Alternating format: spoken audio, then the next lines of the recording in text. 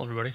And um, once again, this is Justin Pontarelli of the Living Sword Ministries. Yes, it is one of those videos as I get comfortable in my in my bed here, trying to get the light just right.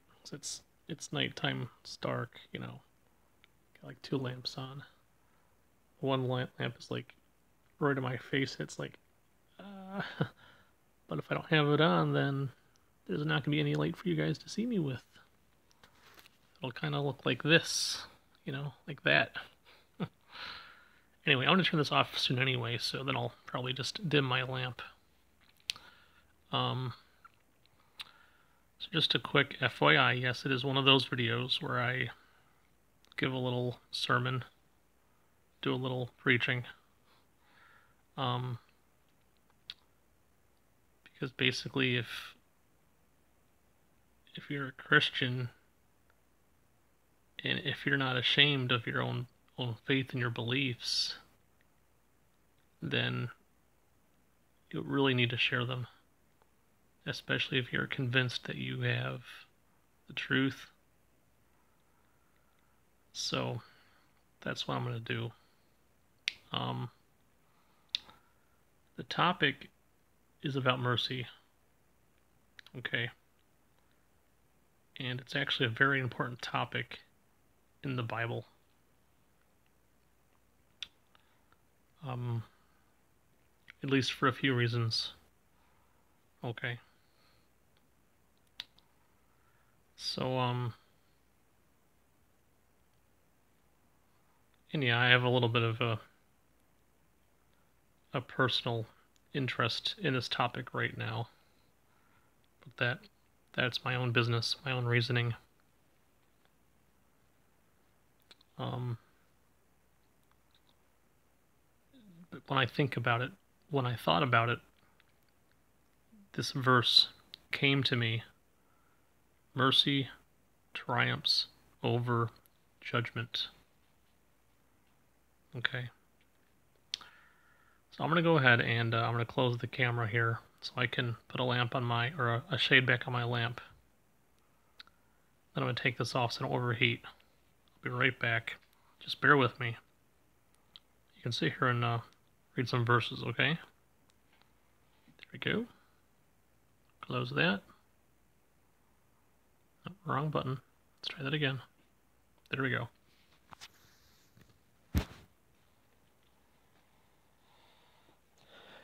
Take off my shirt.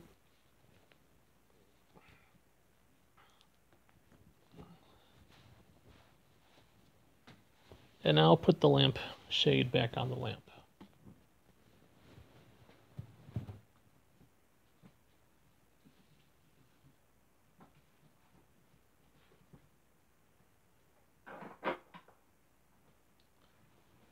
Okay. That's a lot better. Eyes are kind of like burning right now.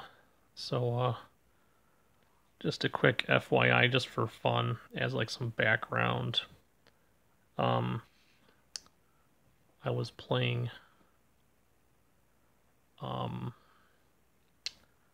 that new, um, Android game off the Play off, off the Play Store, off Google Play, called Among Us for at least, I don't know, has it been six hours? I'm not sure. Too long for too long right now. Initially, my um, reaction was positive to it,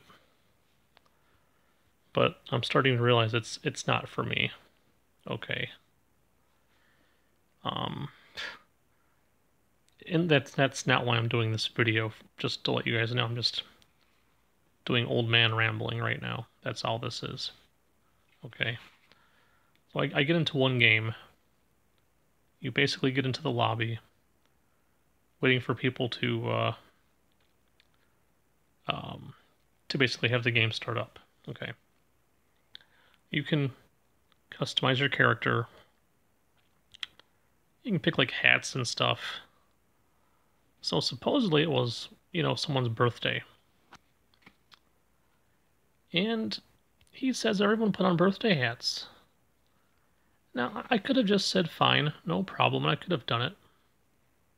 But I stayed quiet. And I stuck with my uh, bandana. Okay. So here I am, waiting for the guy to start the game. I got my, my bandana on, and I realize he is still flooding the chat with with his demands. Now he's demanding that people put on their party hats. It's like I, like I said again, you can literally go in before the game starts, customize your character, and pick different hats to put on your head. Okay. Basically, these characters look like really messed up versions of minions. You know, except with hats. Okay. So eventually the guy has a hissy fit and just leaves the game. So I'm like, that's that's great. I'm thinking there's there's so much craziness involved with such a simple game. You wouldn't think it would be so crazy, but it, it gets bad. Okay. So a, a guy like me who wants to be low stress it's probably not going to be a game I'm gonna I'm not going to stick with it probably. I mean, it's fun for a quick romp, especially if you're new to the game and want to try something different. Then I recommend it, but after that, no, I. If you don't want a quick romp, then don't play it. It's not going to be for you guys. It's not. Okay. Anyway, so now on to our actual purpose of the video mercy triumphs over judgment. Okay. So right now I'm on Bible info, or sorry, openbible.info. And typically it's easy to get to this um, website because all you got to do sometimes is go to Google, type in um, topic followed by the word verses. So maybe judgment verses. And this website might come up in the search results. Okay. Okay, that didn't need to be shown, but anyway, okay, that's an ad. We're gonna pretend that wasn't there, right? Okay, great. So, um, because let me quickly get out my hand Bible. Okay. And then I'll be right back.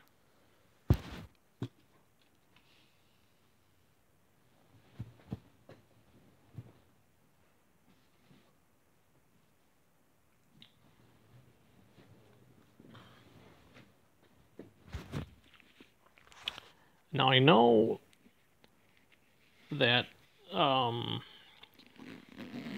this topic will probably make very little sense without me giving giving my reasoning for it.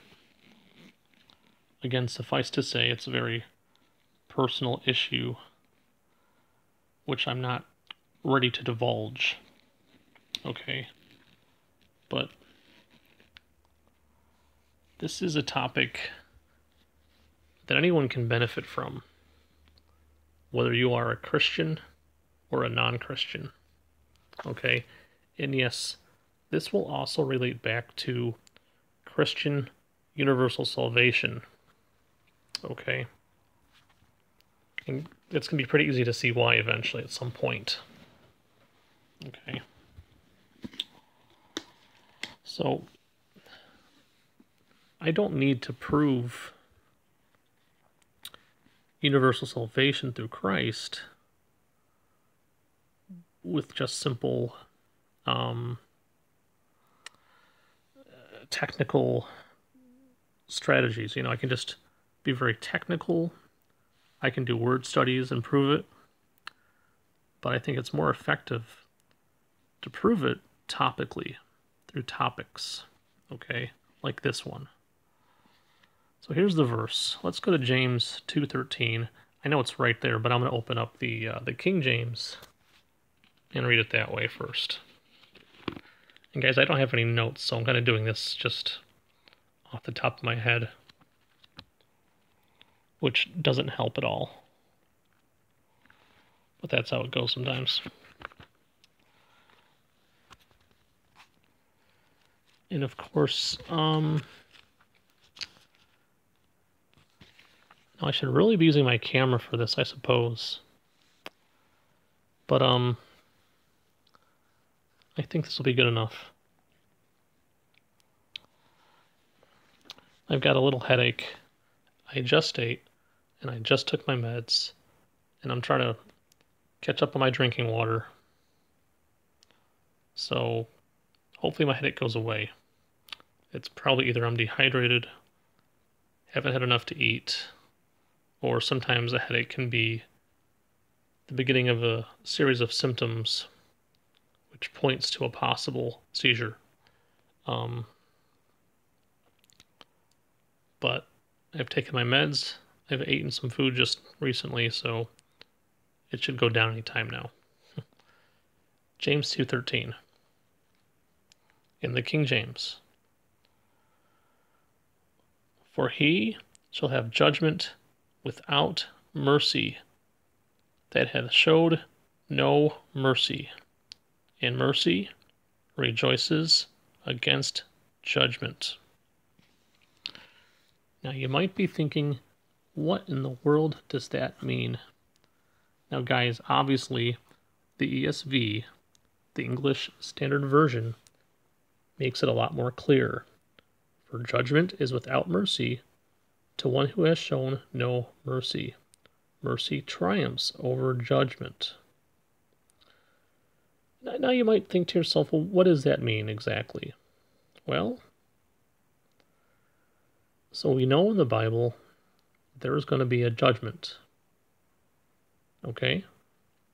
In Revelation, it's basically known as the Great White Throne of Judgment event. All right? And generally speaking, that's when Christ basically, you could argue, has you in front of him and says, okay, let's, uh, let's check out the scoreboard, more or less, right? That's the gist of it. So, what happens if we have not shown people mercy in our lives? Simple. We will not be shown mercy.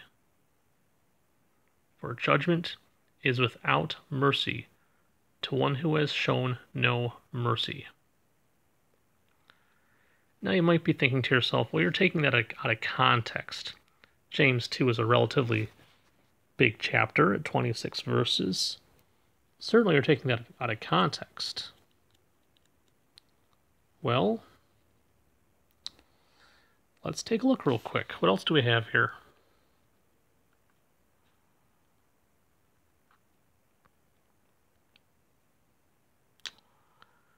Now, um,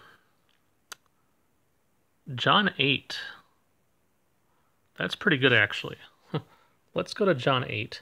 Now, guys, once again, I'm simply reading at random here. I have no real reading plan right now. I have no notes. This is kind of unplanned. So I'm doing this on the fly. Let's go to John chapter 8.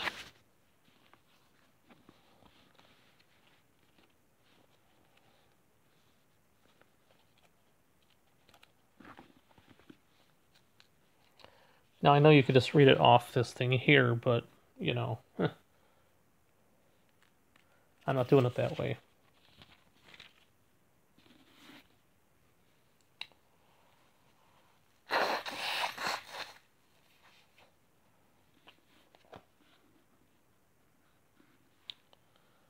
Now, um, let's see here.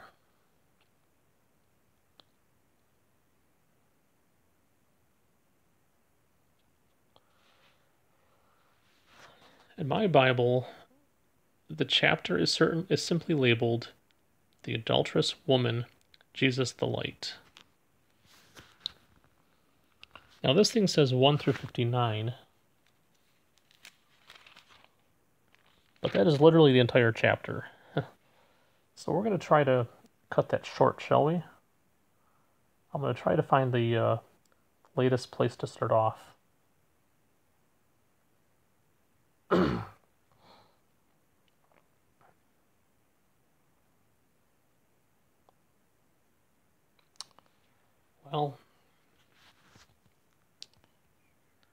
we'll just start reading from verse 1. Sorry. James chapter 8, verse 1, and moving forward. Jesus went unto the Mount of Olives, and early in the morning he came again into the temple, and all the people came unto him. And he sat down and taught them. And the scribes and Pharisees brought unto him a woman taken in adultery.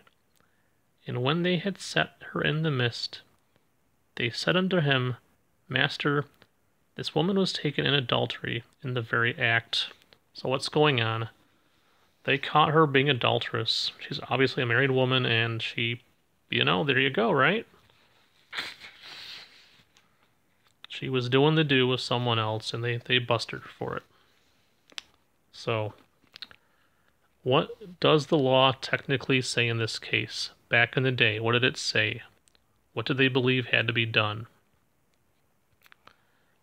Now, Moses in the law commanded us that such should be stoned. But what does you what do you say? But what do you say? Okay. Now, what does that mean, be stoned? You literally throw rocks at the person until they die. More or less, that's it. Okay? You chuck rocks at them until they die. Now, maybe not to death, maybe, but still, right? That sounds kind of brutal. Verse 6 This they said, tempting him, that they might have to accuse him. But Jesus stooped down, and with his finger wrote on the ground, as though he had not heard them. Now, guys, I'm taking some liberties with the reading because the King James doesn't always read very nicely or more specifically, it's very difficult reading at times. Okay. So I should probably get a newer version and read from it, but I like the classics. What can I say? Verse 7 So when they continued asking him, he lifted up himself and said unto them, He that is without sin among you, let him cast a stone at her. Okay, And again he stooped down and wrote on the ground. And they which heard it, being convicted by their own conscience, went out one by one, beginning at the eldest, even unto the last. And Jesus was left alone, and the woman woman was standing in the midst. Now guys, so here, real simple. I've had people tell me you know, when I've asked them the question, then why didn't they throw rocks at her? Why didn't Jesus throw rocks at her? According to the law, according to what he had just said, if he is in fact God, which I believe he is, according to their law, he could have chucked any number of rocks at this woman for sinning. Okay? Especially, you know, right? Um, He that is without sin, let him first cast a stone at her, right? Now, I know we're getting into some technical aspects of this passage, okay? But that's just some food for thought, just something to think about. So, what happens now, right? What happens now? So, the people that heard this, convicted by their own conscience, went out one by one, beginning at the eldest, even unto the last. And Jesus was left was left alone with the woman, right? None of them threw a rock at her at all, period. Now people will say, maybe he meant if you've committed adultery, you can't throw a rock. So are we are we being told then that this entire crowd was made up of adulterers? I don't think so. Sin. Without sin, period. Everybody sins, period. That's why no one chucked a rock. Because they knew, according to Christ, they had no right to do so. But their law said otherwise, though. So let's keep going here. Verse 10 When Jesus had lifted up himself and saw none but the woman, he said unto her, Woman, where are those thine accusers? Hath no man condemned thee? She said, No man, Lord. And Jesus said unto her, Neither do I condemn thee. Go and sin no more. Okay. Go and sin no more. Now, you could continue, okay, after verse 10, or I'm sorry, after verse 11, and go all throughout the entire passage, or the entire chapter, and probably get a lot more out of this, okay? But this whole thing goes along with the concept of blessed, sorry, mercy triumphs over judgment. Okay? This is about Christ Himself, about God Himself not being a hypocrite. It's not as if the woman was not guilty of um, of adultery. That much is clear. She's been caught in the act. Okay? This also goes along with the concept of um, love keeps no record of wrongs. That's, I believe, in 1 Corinthians chapter 13, within like the first 10 verses or so. Okay? Depending on the wording of the uh, version of the Bible you're reading. Okay? The general idea is that love keeps no record of wrongs. Okay? And of course, for God so loved the world Okay, that he gave his only begotten Son. Okay.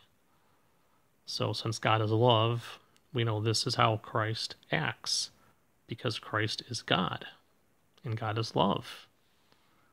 And God is obviously not a hypocrite. Okay. So, what does he do here? What does he do? He shows this woman mercy. Okay. And only by convicting everyone else, getting to their conscience, is he able to basically force them to show mercy to her? Okay? Now you go back to James 2:13, for judgment is without mercy to the one who has shown no mercy. So what's going to happen? you will be judged according to how you have judged others in life. If you are not merciful, you will not be shown any mercy. It's as simple as that. Um, let's see here. What else can we do for you?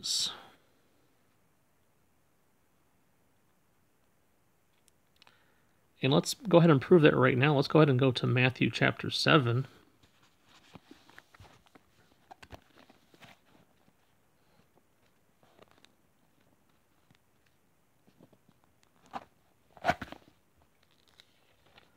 Guys, this stuff right here is actually part of the famous Sermon on the Mount that Christ gives. And I'll go ahead and read out of the first um, five verses of chapter 7, just like it suggests here. Judge not, that ye be not judged. For with what judgment ye judge, ye shall be judged. And with what me- measure ye meet, it shall be measured to you again. Okay. And I'll explain all this in a couple moments, okay? And why beholdest thou the mote that is in thy brother's eye, but consider not the beam that is in thine own eye? Or how wilt thou say to thy brother, Let me pull out the mote out of thine eye, and behold, a beam is in thine own eye? Thou hypocrite, first cast out the beam out of your own eye, and then shalt thou see clearly to cast out the mote out of thy brother's eye. All right.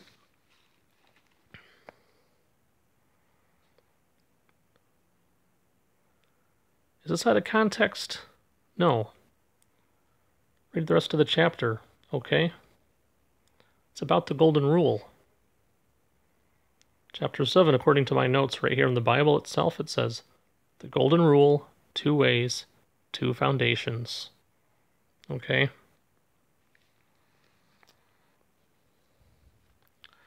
The rest of the chapter, as far as I'm, I'm aware, only reinforces what the first five verses are saying. We know according to the Bible that everyone sins. According to 1 John, I believe chapter 1, we know clearly that everyone sins and that if they say they have no sin, they're lying. Okay? I've gone over that before, probably many times now. So let's read from the ESV real quick. Judge not, that you be not judged, for with the judgment you pronounce, you will be judged. And with the measure you use it, will be measured to you. So now what's all this about the speck in the eye and the beam in the eye? Okay, so let's say I find fault with someone, you know, and maybe I'm upset with somebody for, I don't know, whatever reason, right? So basically that that's the speck. So I go to someone and say, "Man, you're messed up. You have you're you're all wrong. You're you're a bad person." But what Christ is saying first, I need to take a good, hard, long look at myself and realize I'm no better than the guy that I'm casting judgment upon. Okay? According to the Bible, I'm a sinner too. According to God, I'm a sinner too. So if I go around casting judgment upon others, guess what's going to happen to me? I will be judged by that same measurement. If I go around judging everyone that's wronged me, when it comes time for, for me to be judged, guess what? I'll be judged I'll be judged just as sorry, just as harshly. So God's not saying clean up your act and then you get to judge people. No. That's not what he's saying. He's saying realize first that you are not the perfect person you think you are or the good person you think you are, and then you'll see clearly enough to not judge your brother in the first place.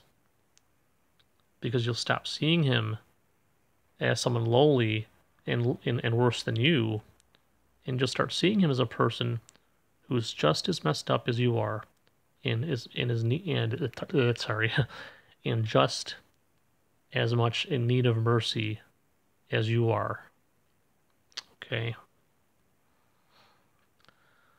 Well, people will say, but it says in John 7:24, "Do not judge by appearances, but judge with right judgment." Well, guys, first of all, you need to define what right judgment happens to be. Okay. And I believe the context of the Bible in general tells you what right judgment is. Right judgment and this is might just be my opinion. I could be wrong. Look it up, decide for yourselves. Right judgment says do not go around believing that you have the right to play the role of God. I have no right to go around and say, well, so and so's bad, you know, and that person's bad, and that person's bad, and therefore I get to put them down or be nasty towards them, you know. No. Right judgment is I'm no better than them. I have no right to play God and tell them that they're bad or evil. All right?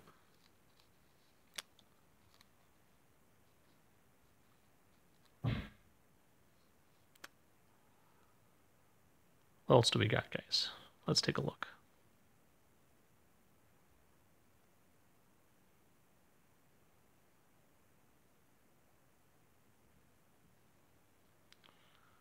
Here's something fun. I haven't seen this before. Let's go to Hebrews chapter 4, 16, I guess. Let's see what that's about.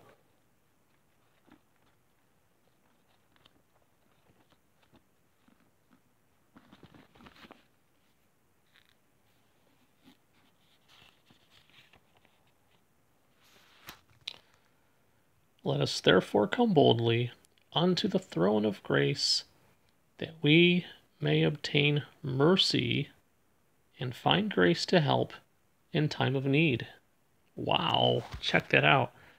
And that's the end of a chapter right there. So that's important right there. That's an important thing to hear. So, if we have treated others mercifully, you can bet anything that when the time comes, we will be shown mercy. So, and just in case someone wants to say, "Oh, you're taking all this out of context," okay, you're taking it all, all you're taking it all out of context. Go to Matthew chapter 5 first. Matthew chapter 5. This is the beginning. This is the beginning of Christ's very famous Sermon on the Mount.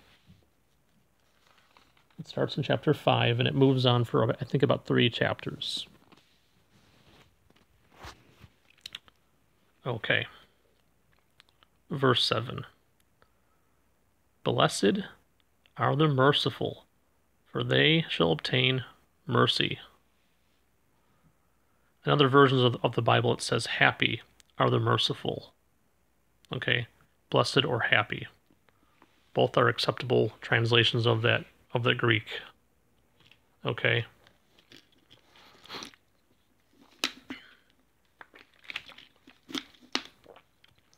This is Christ, guys. If you have a red letter Bible, okay, I definitely recommend a red letter Bible because it helps you to find what Christ is saying. Okay? And if you understand or accept that Christ is God, then you're going to realize this is God Himself speaking, trying to tell you something important. Okay? So there's no taking this stuff out of context. There's no taking James 2:13 out of context, okay? There's no taking John chapter 8, the woman in adultery out of context. Okay? John chapter 8 is not Christ um, making an exception for someone. Okay? The woman caught in adultery was not an exception. The thief on the cross was not an exception. They are the rules. They are the rules. God does not change. God does not change. I cannot repeat that enough. These people the thief next to Christ on the cross, the woman caught in adultery. These are not exceptions, these are the rules. This is Christ following his own teachings. This is God teaching, and this is God doing what he's teaching. Again, blessed are the merciful, for they shall obtain or receive mercy. Okay? It's as simple as that. So now, let's get to the part where I relate this back to Christian universal salvation. So people might say to you, well, then maybe there's levels of eternal torture. So maybe if you go to level 10, you'll be beaten every minute by a demon, and you'll be forced to watch, you know, the worst presidential debates for the rest of history. And you'll be forced to eat, you know, nasty fecal matter for breakfast.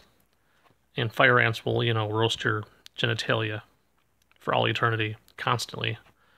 But maybe mercy really means on level one, you'll just go to level one of eternal torture, right?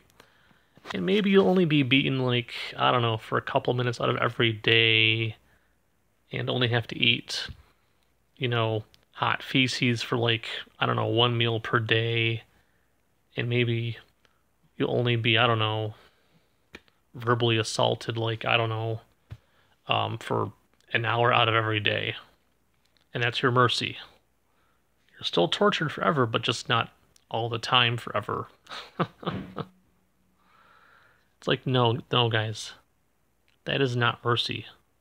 That's not what that means. Okay? What does mercy mean in the context of John chapter 8? He doesn't berate her. He doesn't attack the woman.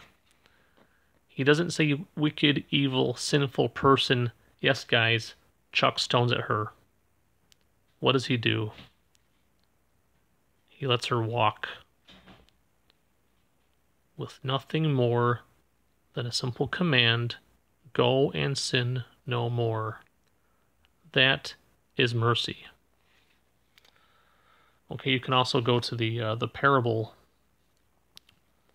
of the um, unmerciful servant, and you can read how the king lets the the debtor go. But when the debtor, who is also owed money, decides not to be merciful to his to his guy that owes him money, the king immediately changes his mind and says, okay, well, you weren't going to be nice to that guy, so why should I be nice to you? Mercy is giving someone grace. Grace is something that you don't have to earn, it's just given to you as a gift. Okay? That's what it is. That's what Christ gave us on the cross. He gave us grace. He gave us something we didn't earn or deserve. It's simply a gift. That's what mercy is. Mercy triumphs over judgment, according to James 2:13. Christ teaches that you'll receive mercy if you're merciful. Okay? John chapter 8 is about God himself following his own rules, letting this woman walk when old school Mosaic law told these people to basically beat her to death. Matthew chapter 7 teaches us to look at ourselves very carefully before we cast judgment so that we may realize that we're just as messed up as the people that we are trying to judge. John chapter 7, verse 24, is not about God saying it's okay to judge people. Okay? So if you look at the greater context of the Bible, that's not what it's about at all. Righteous judgment is about first realizing that you're also a sinner, that you're no better than the person you're judging. And if you follow the golden rule, okay, that comes basically from the Bible itself, you'll understand to be merciful to that person that you wanted to judge.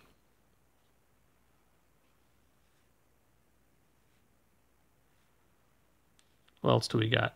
Probably not much else. Let us then, with confidence, draw near to the throne of grace, that we may receive mercy and find grace to help in time of need.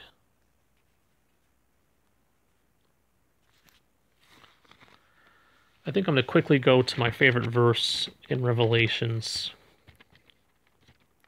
Or maybe a couple of them first. Let me see if I can find them first, shall we?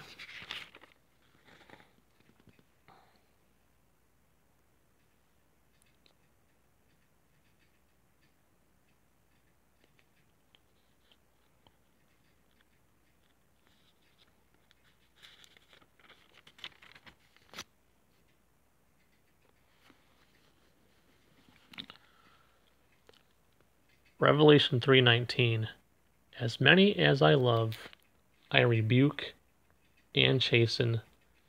Be zealous therefore and repent.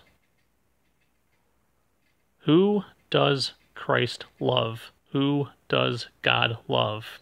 John 3:16 everyone. He loves everyone.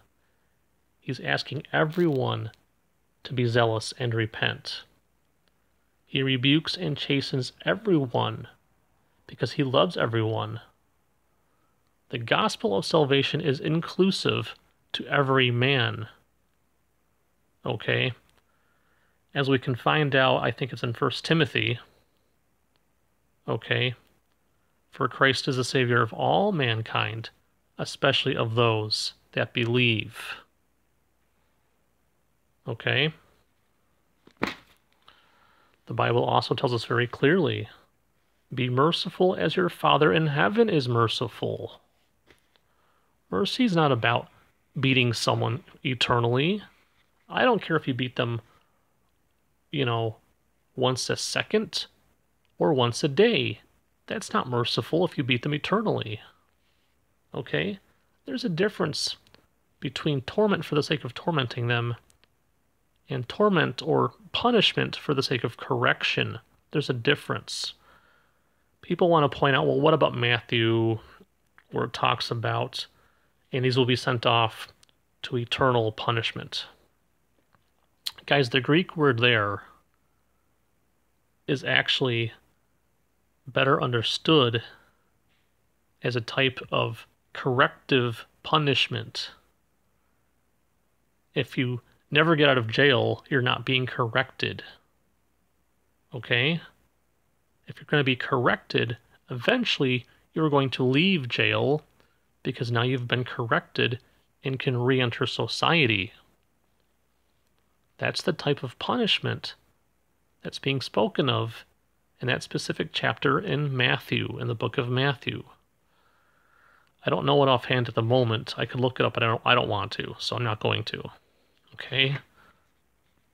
But the one that talks about these will go into eternal life and these into eternal punishment. It's about a corrective punishment. Corrective. Okay? So, yes, God does rebuke and chasten those he loves, but that is for the purpose of correction to get people to come to a point. In the Old Testament, in Isaiah, it says, and when God's punishments, or sorry, judgments are in the earth, the people will learn righteousness. And if you're learning righteousness via God's judgments or corrections, then guess what happens once you've learned righteousness? You're going to follow God. And that's why we have the following verse in Revelation chapter 21.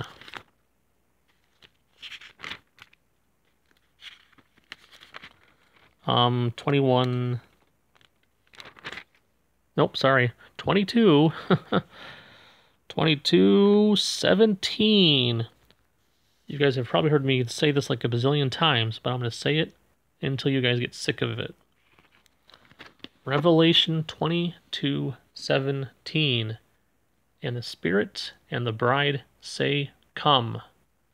And let him that heareth say, Come. And let him that is athirst come. And whosoever will, let him take the water of life freely. Guys, let's back the truck up real quick. What is or who is the water of life? Christ is. That is proven very easily in many passages. Okay. Who could possibly be athirst after the great white throne of judgment event? Only those. Only those that are without Christ. Only those that are in the lake of fire could possibly be thirsty at this point. And what makes me think this verse was written to people and directed at people that are in the lake of fire? Because the bride, the church, is only referred to as the bride after after the wedding of the church to Christ. This is a post rapture event. Okay?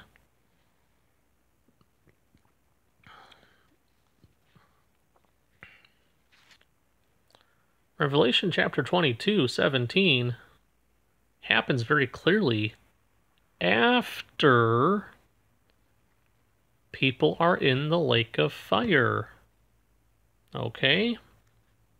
After. Read Revelation. Even in context, it's very easy. Look at chapter Revelation 22, verse 15. For without for without are dogs and sorcerers, whoremongers, and murderers, and idolaters, and whosoever loveth and maketh a lie. Okay, we're talking about people outside the kingdom of heaven and those that are inside. So it's verse 17. What is verse 17 being directed at? Who's the audience? The audience are those that are outside the city they're outside the kingdom of God. The dogs, the sorcerers, whoremongers, murderers, idolaters, the liars. Okay? You can basically directly compare uh, 22 or sorry 22:15 to another verse who talks about everyone who will be in the lake of fire. Okay? All liars are mentioned in that very same verse just like in chapter 22, 15. So who do you think 22, 17 is being directed at? Because according to the Bible, you will eventually be with God. Because God loves you and He's not going to stop until you decide that you want to be with Him out of your own free will. And He has the power and will and intelligence to make it happen. Guys, just read about what happened to um Saul, right? Saul, before he became known as Paul. Read about the Damascus Road conversion people say, well, you know, God can make exceptions. Maybe God forced him to convert. No.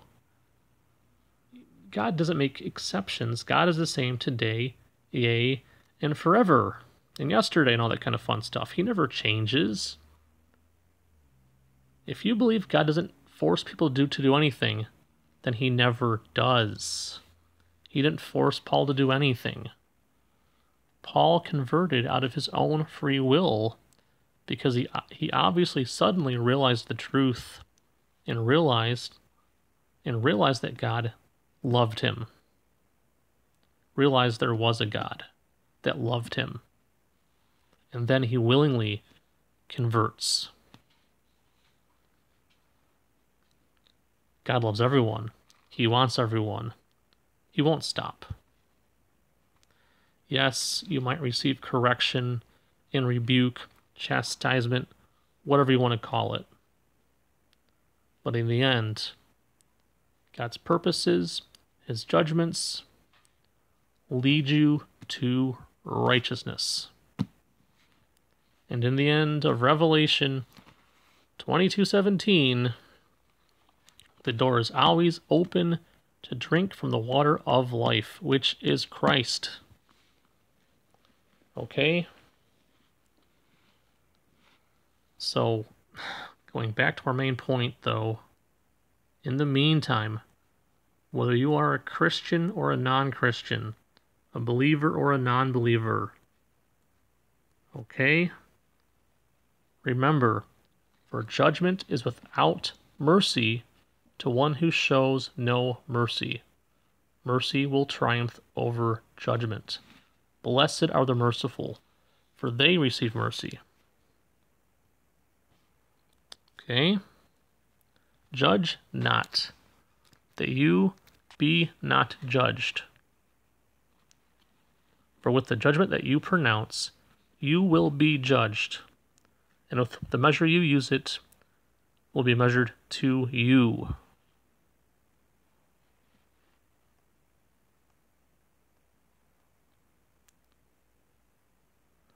Let us then with confidence draw near to the throne of grace. What is grace? Unwarranted favor. Unwarranted, unearned. It's a gift. We've been given the gift of grace from Christ. We need to share that gift with others. The gift of grace, the gift, the gift of mercy. I hope this has made sense to everyone who listens. Because even people like me that can act like a total jerk sometimes, because I, I know I can be. I know I've been a total jerk at times to people. Even idiots like me need to remember this lesson and need to apply it in our lives. And to be fair, yes, there is someone in my life that needs to learn this lesson. And that's the only clue you're going to get.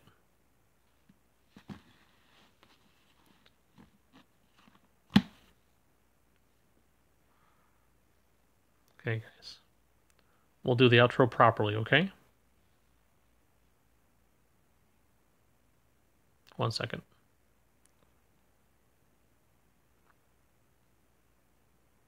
There we go. That's better.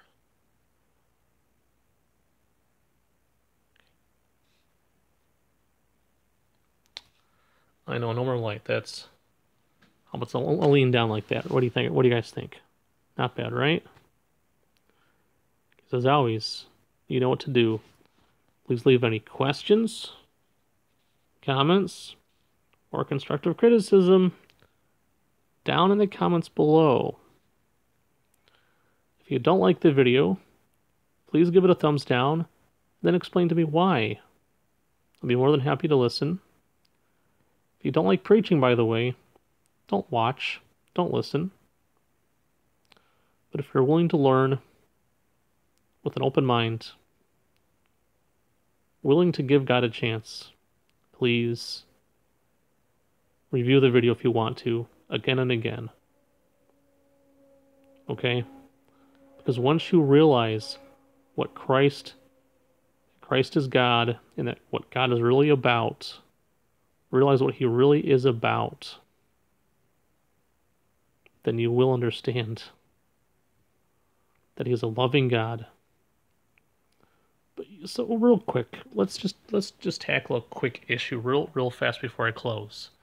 So you may say, okay, he's a loving God. Why do good things happen to or sorry, why do bad things happen to good people? Because God never promises us a free, happy ride. That's not what this is all about. Because the problem is sin. And the consequence of sin is death. Okay? God didn't put us here to to give us a ticket out of trouble. The trouble is here for a reason to teach us, to help us, to force us even to spiritually grow and learn. You don't learn and grow if there's no test. Think about that for, for a moment.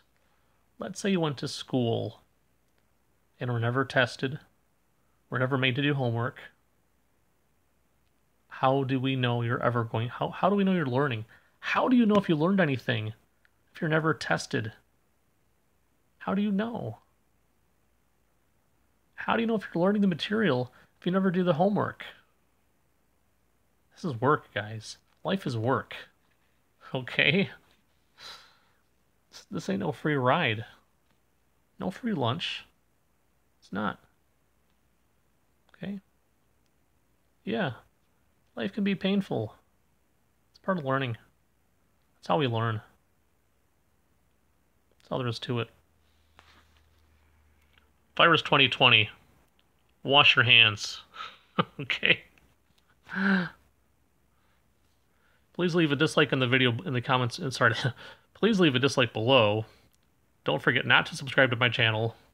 And, um, have a great day. Seriously. Peace.